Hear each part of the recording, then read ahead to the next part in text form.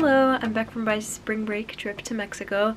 It was so nice and so short, of course, and now I'm back into getting back into the routine of studying in school and boards prep again. I anticipate having a pretty busy week. Tomorrow's going to be really busy, so I just wanted to hop in and say hi eh, in case I don't film a lot tomorrow, but tomorrow I'm going to have my OMM or like my osteopathic COMAT, so basically like a practice boards but just for the OMM and the osteopathic principles.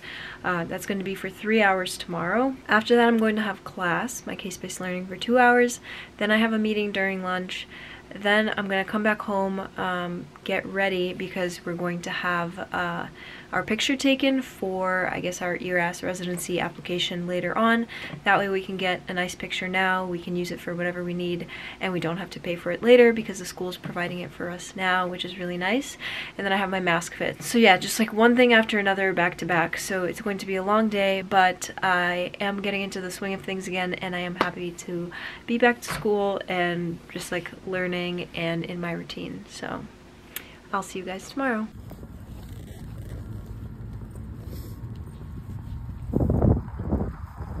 Went home just so I could shower and and come to school, take a picture for 20 seconds, and now I'm on my way to the gym. Very happy I got, I managed to fit everything in today and I don't feel utterly exhausted, so it's been a good day so far. Hopefully I can continue being productive.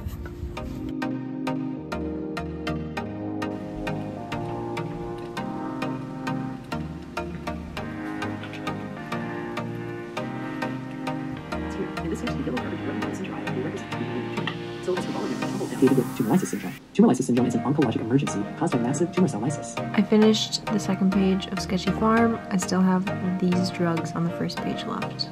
But I'm more than halfway through that. Good morning. Today's going to be an OMM heavy morning for me. I have my OMM practical exam at 1 and it's 11 right now, so I'm going to dedicate the next two-ish hours to studying just that because I didn't do that yesterday. Yesterday we also had our OMM OPP written assessments, so this whole week is just very, very OMM heavy. I'm kind of surprised when I watch other osteopathic DO med school YouTubers how little people talk about the OMM because OMM is such a big time commitment for us.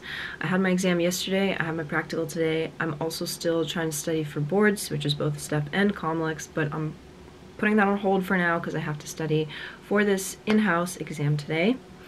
So what the exam is going to look like is um, we get a chief complaint, something like um, mastectomy or edema, headache, whatever. We pick two regions of the body that we think might be contributing to it. So we're going to say headache, easy.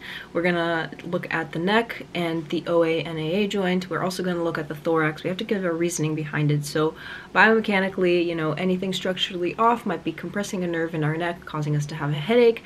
Similarly here, um, there's a thoracic duct, a lot of lymphatic drainage in the thorax, so we want, want to open this up in order to promote circulation, kind of going from the head neck down to the thorax, so we'll treat both these regions. Once we picked our two regions and explained why, then we go ahead and do the diagnosis, so we're going to be examining asymmetry, bruising, swelling, skin, active range of motion for both head and neck and thorax, and then we do our diagnosis of the AA joint, OA joint and the cervicals, and then thorax we do the first rib, and then we do the thoracic spine from the back. Once we have our diagnosis, our facilitator is going to make sure that the diagnosis is correct because we are graded for accuracy now. After that, they're going to pick a region for us to treat. They will pick one treatment for us and one treatment we're allowed to just pick ourselves for each of the regions, and then we're going to treat reassess. We are looking for a change, so we are looking to see that we improved, and they will check to see that there's improvement in this dysfunction. Next is the second part of the exam. This is where we're going to do Chapman's points. Chapman's points are points all the way from, you know, your neck down to like your groin area, and we're, they're going to pick two Chapman's points for us. We have to correctly point them out, correctly verbally say where they are and what they are for. Then we're going to be diagnosing the ganglia, which are um, around your belly button and also the mesentery. Once we diagnose that, we also have to treat one of those. And then we're also going to be going through some lymphatic techniques. So they're going to pick a lymphatic technique and we have to correctly do a lymphatic technique as well.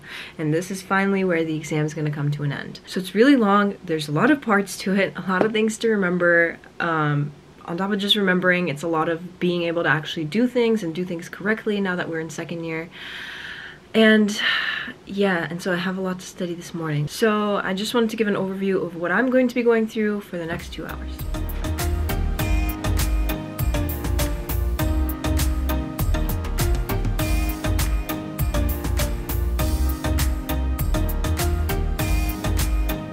I passed my OMM practical. I'm so happy. What a relief. I was stressing out. Like, you know when it gets to like an hour before the exam and you realize just how much you don't know? I don't know. I guess it was in there somewhere and ended up passing. So done with this and the rest of it, the rest of today, I think is just going to be repro and boards again. I started eating more salads. I actually saw like a med school TikToker talk about this. It's like the salad packets that come pre, you know, chopped and seasoned and whatever. And then she got deli meat that she would just throw in there and I did the same thing and it's so fast and easy. And I literally never eat salads or vegetables, so this is like such an easy way for me to get in my veggies. I literally just started eating this this week and I really like it. Breast cancer in males, that's one of the classic associations with breast cancer. And I'd like to remind you, when patients have a hereditary breast cancer, speaking about cancer, the risk does not become zero, and those patients still need to be watched carefully. A lot to do today. Today's a free day, so I don't have to go to school for anything. There were lectures happening this morning that I want to watch, but I'm going to start the day with 20 UWorld questions just to get those out of the way, so that first.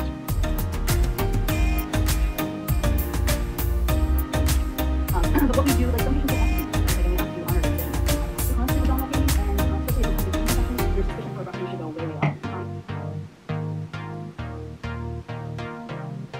morning in scrubs today because I'm going to be OMMTAing for the first year class, last one of the year. But before then, I started starting my mornings with my UWorld 20 question set because I think this is the thing that aggravates me the most.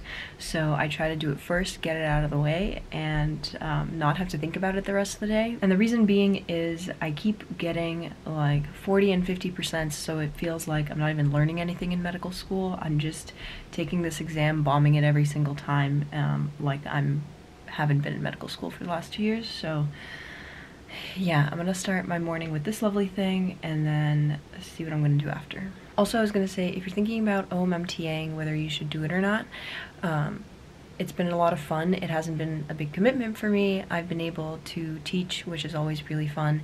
And then also, for selfish reasons, I've been able to practice OMM, you know, go over OMM techniques from the first year that I might have forgotten or gotten rusty on, and this has helped me a ton on, you know, the practice exams and the in-house exams that we have because it feels like I'm constantly reviewing the OMM that I probably wouldn't be if I didn't have to teach it to the first years. So if you're thinking about doing it, it has been worth it for me this year.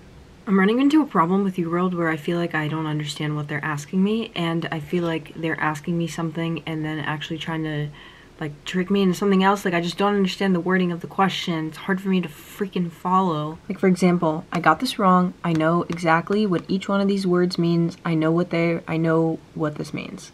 But then the question said, which of the following best characterizes the new cholesterol measuring device? New device.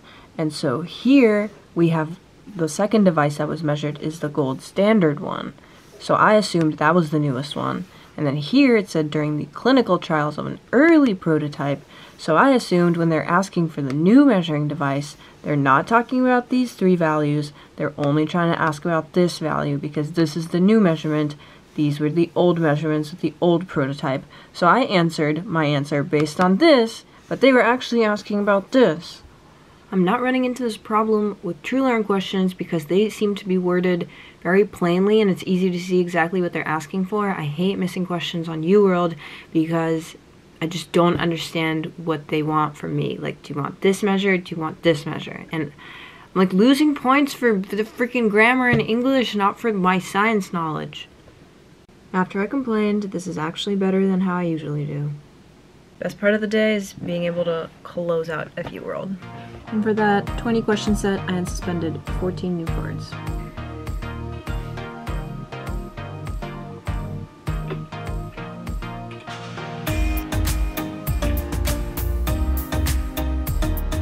I started off the day a lot more productive than I'm finishing it. It's already 2 in the morning. I'm finishing my 20 question set of TrueLearn questions for Repro but I wanted to finish all the Repro Anki today, which I didn't do, and then I wanted to start on the Repro study guide for the Repro exam on Monday, going over and annotating that, which I also didn't do.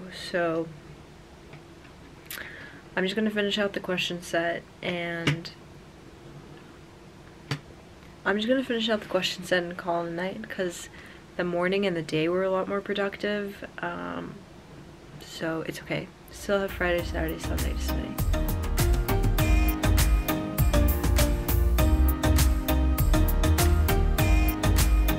I had what feels like the most unproductive day today. I actually have no idea where the day went because the amount of hours that passed today and the amount of work that I did today just do not coincide. It just doesn't make sense. It's 11.40 at night. I still want to finish my 20 Repro TrueLearn questions. I want to finish the Repro Anki cards, meet my Anki card goal for the day, which was 500, and I think I'm only at like 200 right now. And then I was trying to get through my like 80 page Repro study guide that I was annotating, and I think I actually got through like 10 pages. So how did I accomplish so little?